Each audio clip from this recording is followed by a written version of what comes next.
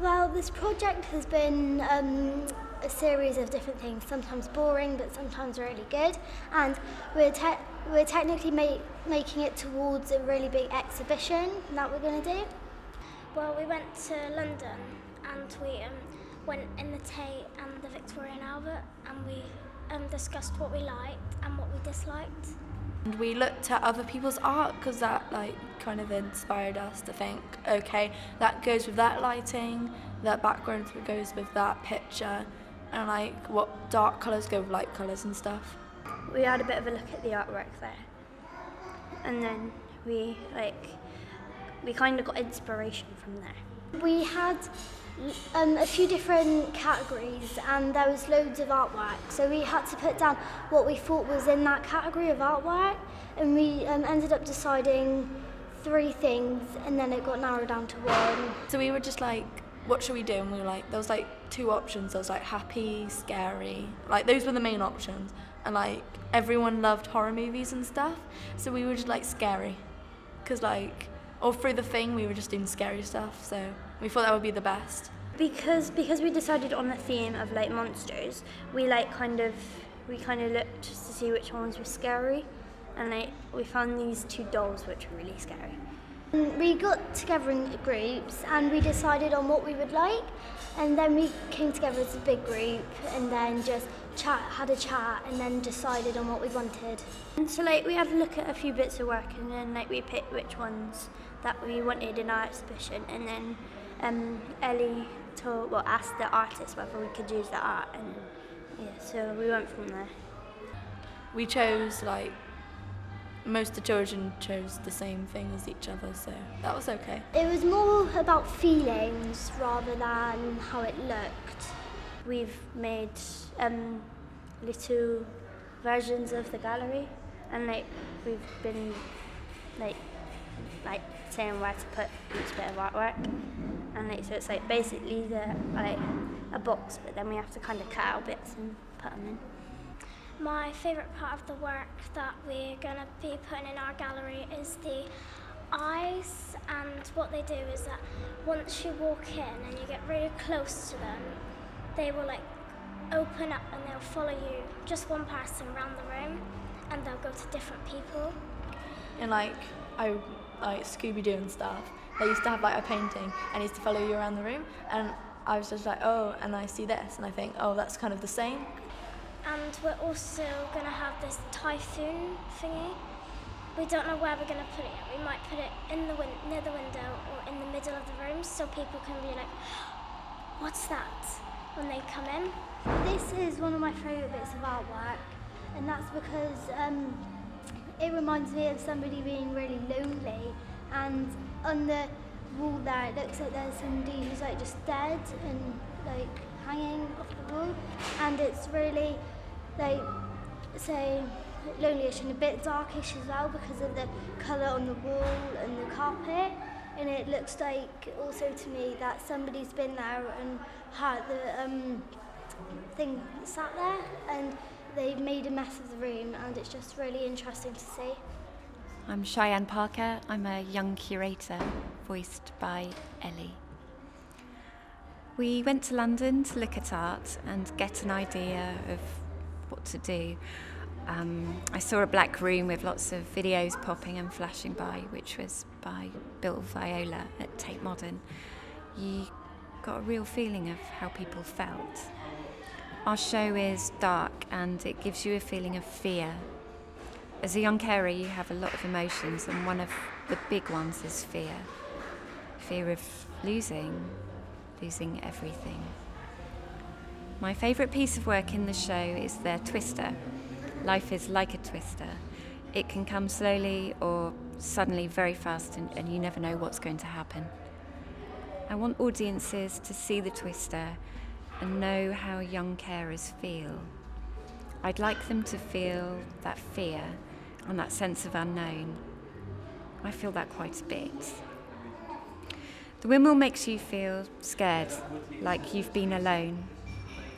It's the dark background and a, a dark colour, and then that tiny light bit in the middle is like your mind.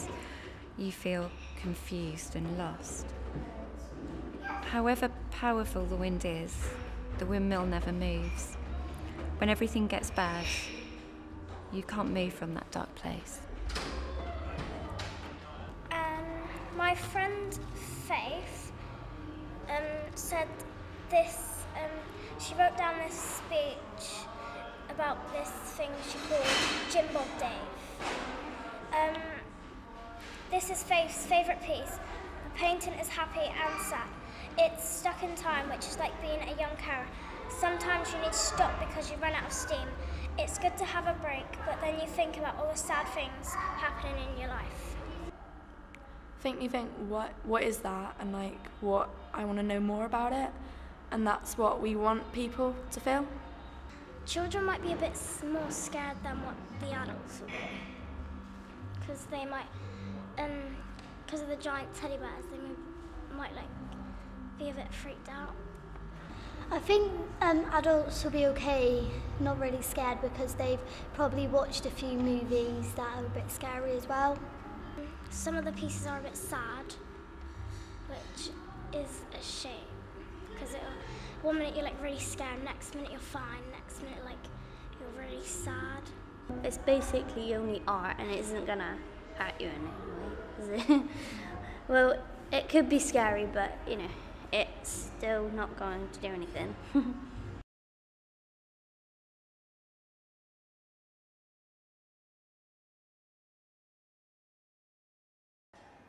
I'm Eloise Malone. I'm the director of Effervescent. We're a small arts engagement lab based in Plymouth. My name's Emily Dymond. I work for Effervescent and I'm an assistant producer for engagement. My name's Ray White. I work for Effervescent and I'm the curator. F do a range of stuff. We we sort of work in all aspects of the arts, so we don't just do theatre or kind of curating or drawing pictures or workshops. It's so much more broad. It's about thinking and it's about emotion and it's about relationships and it's about telling stories. It's it's whatever means they can tell stories through, I think.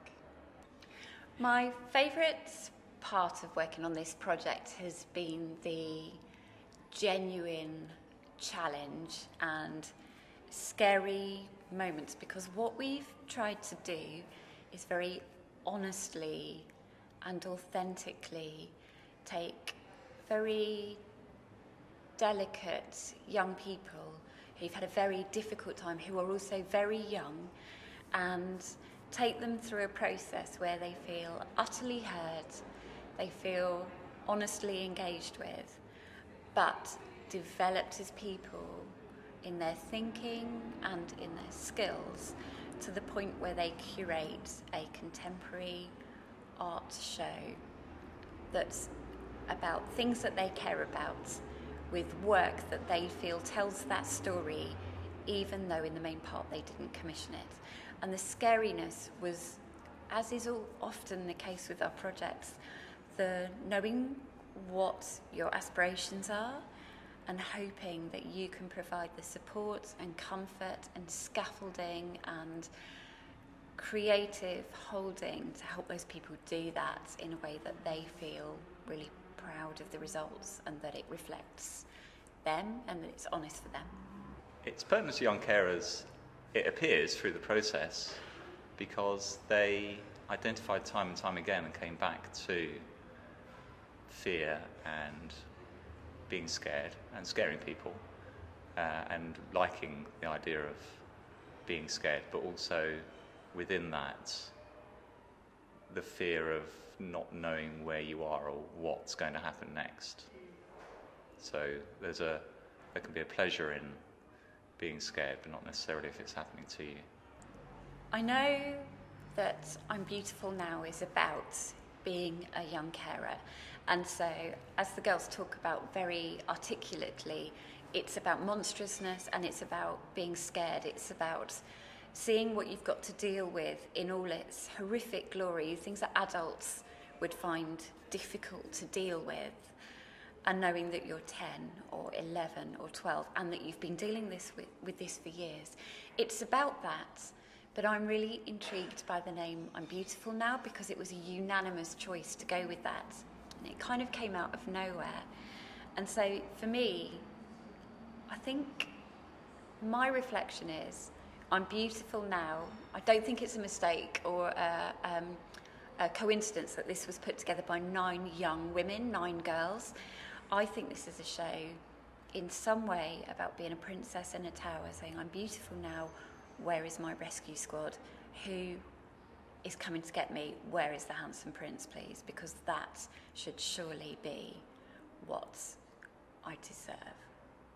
I think you have to believe in the process. So I think if on day two we'd have said, go on guys, make an exhibition, it would have been very different from the exhibition we've ended up with. So I think you have to trust that what we do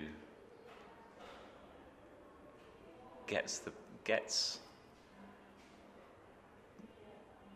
gets things out of people, gets them to be able to make the choices they've made. Um, devising this was really good fun. We there were moments where it was really really difficult, but there were moments where we just had like an outrageously screamingly funny time. So one of my favourite bits that will stay with me for a really long time was I was given um, three of the girls, I think it was Jolene and Crystal and I think Shy, and we were given the task to create an installation. So we were at the artist training bit before we moved on to curating. We had to create an installation that gave people an emotional response. And we were set the task of using the ladies' toilets at Radiant. Um, and it was amazing. We kind of created this bed and we darkened out the space and we got people to lay down and we crouched under the cubicle doors and told people this story and then dragged them through at the last minute. Just and people screamed half the time. And it was just it was so funny and it was so um, ridiculous. But even then, and that was day one or two of our eight day devising process, we were making work about terror and about not being able to predict the future. And I do find it really interesting. I, I think my view is that art is for everyone and it should be for everyone and it can be put together by everyone, made by everyone. And I think at Radiant we are really driving that home and um, opening it up to kind of people that maybe would never even consider going to the arts because maybe they just don't know how or they've never even thought about it. But I think we just want to widen it up to everyone and let everyone be a part of it. I think in terms of the content of the show, and I'm looking at it now being built in the background, um, the girls made extraordinarily sophisticated decisions, especially considering when we began, most of them thought art was very much in the whole drawing, painting, and maybe taking a photograph sphere. Their breadth of knowledge or sophistication to analyse works was still very young and, and not developed that much. What we found throughout the process is we have some young women here who are extraordinarily gifted at this. Their observational powers and their ability to um, analyse work, make sense of work, and make really well thought through decisions is clearly there.